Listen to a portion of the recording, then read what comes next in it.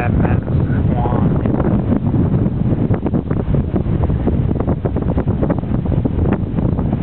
September twenty eighth, two thousand and nine.